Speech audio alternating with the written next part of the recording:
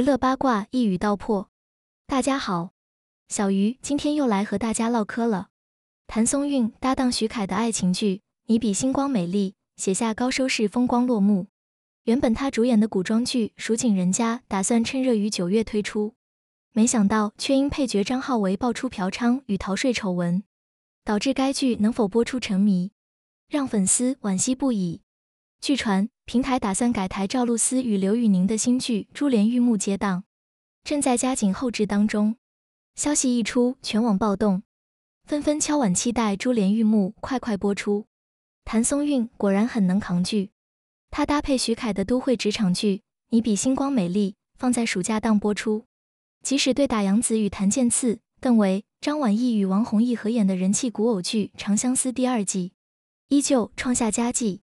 甚至好到问鼎湖南台的今年戏剧的收视年冠，也因此，谭松韵与郑业成主演的新剧《蜀锦人家》，优酷平台打铁趁热定于九月上线。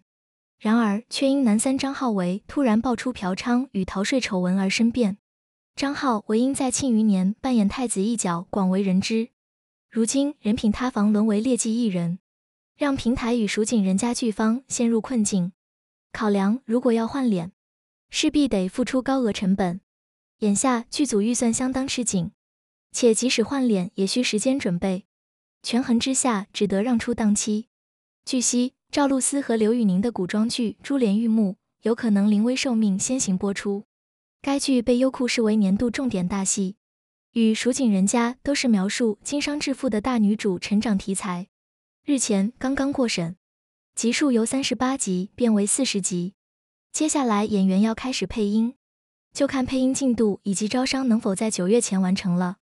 由于优酷一直想让《珠帘玉幕》早点播出冲业绩，很努力赶工后置，但依照目前的进度，九月赶不及的话，就放在十一月上线。因为每年十月、十一月临近双十一，是招商大月，也是厂商的必争之地。各大平台推出的既受看好又能撑场面的大戏。足见优酷对珠帘玉幕的重视。你比星光美丽热播时，很多人都说谭松韵配不上徐凯，两人站一起没有 CP 感，不是很和谐。徐凯的长相无需多说，是大众公认的大帅哥，加上一百八十七厘米的大高个，模特身材，作为偶像派男主，真的太完美了。因此，与他搭戏的女主，如果没有相当的实力，还真的容易被人诟病。谭松韵长着一张娃娃脸，一双大眼睛萌萌的，表演时非常灵动，但缺点也比较明显，就是面部立体感不浓。可她和任嘉伦主演的《锦衣之下》，却被网友直接封神。不仅演技生动，非常吸引人，每一个妆造都十分好看，放大了她的优点，掩盖了她的缺点。由此可见。选对妆造师对一个演员来说多么重要！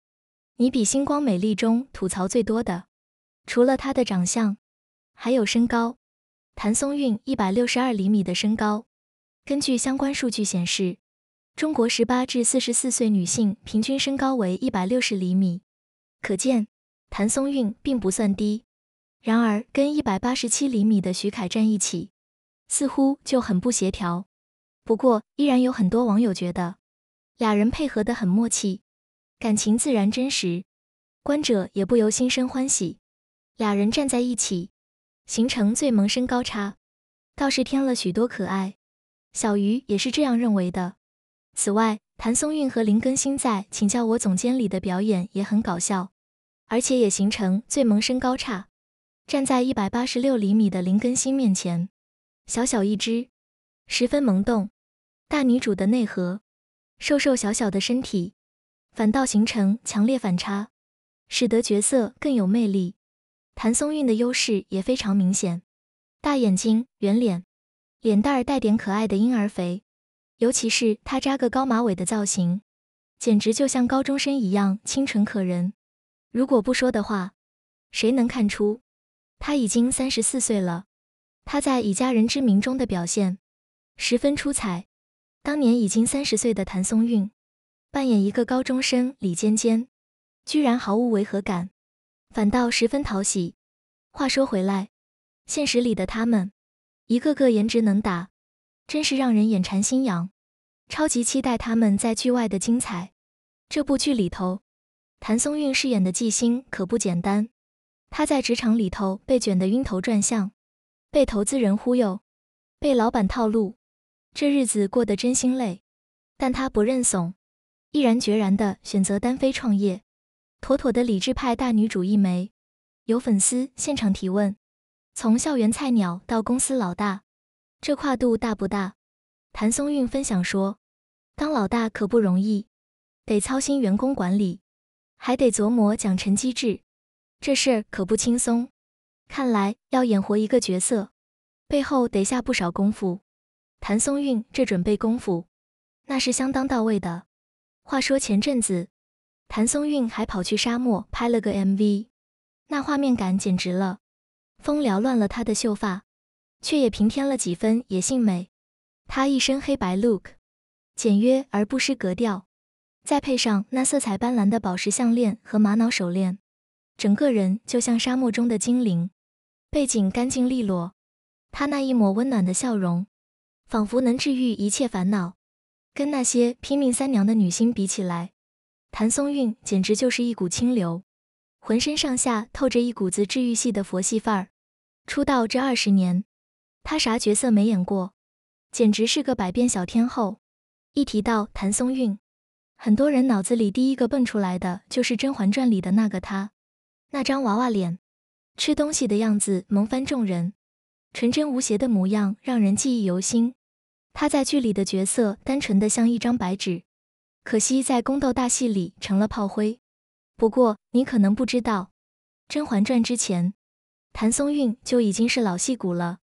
什么好好过日子，我的燃情岁月，她都玩过一把。《甄嬛传》播出后，那帮主演配角们可算是火得一塌糊涂。蒋欣、孙俪自不必说，爆款剧接到手软。蔡少芬本来就有名气，其他人像蓝盈莹、热依扎、毛晓彤也纷纷逆袭成功。至于兰溪、陶欣然，综艺节目的常客，到现在还时不时拿《甄嬛传》说事儿。但谭松韵呢，红了之后可没闲着，马不停蹄的投身下一部作品，从不吃老本，这股子拼劲儿也是让人佩服。在今年播出的都市偶像剧《陈欢记》中，杨紫也和徐凯演过恋人。童星出道的杨紫素来以演技被人赞颂，但《陈欢记》里的她跟刚刚收官的《长相思》比起来，演技就显得平淡了一些。《长相思》里的杨紫表演非常有层次感，真实接地气，高潮迭起，贡献了很多名场面。正因为有这样的实力派加盟，《长相思》被网友高度认可。香蜜沉沉烬如霜里的杨紫，演技也是非常厉害的，并且凭借该剧获得第二十四届华鼎奖中国古装题材电视剧最佳女演员提名。她和肖战主演的《余生，请多指教》很好看，只是演技也没那么突出。如此看来，都市偶像剧里仿佛真的用不着拼演技。在看脸的时代，杨紫五官很漂亮，脸就略显僵硬了。有人说杨紫整形了。可整形不是娱乐圈公开的秘密吗？长相作为一个演员的加分项，为何不整？天生的大美女固然好，可并非人人都天生丽质。况且天生丽质的，也未必能当演员呀。从《家有儿女》里瘦瘦黑黑的夏雪，到如今亭亭玉立的白富美，杨紫的蜕变大家有目共睹。如今的杨紫，确实面部表情不像谭松韵那么灵动。但除此之外，长相几乎没有缺点。况且人无完人，大家要求也不要太苛刻嘛。戏外的杨紫看起来清纯淡雅，不笑的时候有点高冷，笑起来两个尖尖的酒窝，增添了许多可爱。都市剧里的她，诸如《欢乐颂》《亲爱的热爱的》或者《余生，请多指教》，形象都更加生活化，仿佛邻家小妹。《承欢记》里。杨紫和徐凯站在一起，俊男美女，十分养眼，看起来一点也不突兀。真是不必不知道，杨紫身高居然有一百六十七厘米，算是中等偏上了。